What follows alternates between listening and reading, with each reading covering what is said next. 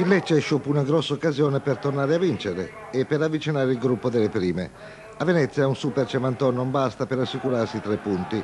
Subito un pericolo per la porta giallorossa, ma un Rossi è più bravo dell'altro e il terzo Rossi, quello della panchina, non la prende bene. La difesa salentina applica male il fuorigioco e permette a Fantini di incunearsi e segnare indisturbato. Palla al centro e ci pensa subito l'inimitabile Cevanton a pareggiare i conti con un diagonale imprendibile.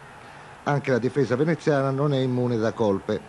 La partita è vivace e Cevantone è sempre in prima fila. La botta di Borcic non impensierisce troppo Gigi Rossi. Verso la mezz'ora il difensore Veneto Guerra serve involontariamente a Conan un assist perfetto e l'Ivoriano non si fa pregare per sfruttare l'imprevisto regalo. Cevanton continua il suo show personale prima manda sull'esterno della rete, poi calcia una punizione tagliatissima sulla quale nessuno arriva ma allo scadere del tempo un altro errore collettivo della difesa leccese mette in condizione Fantini di realizzare facilmente il 2 a 2. Potrebbe ancora fare tris Cevanton, ma il suo colpo di testa finisce sul palo. Il secondo tempo è decisamente più scadente sotto il profilo tecnico.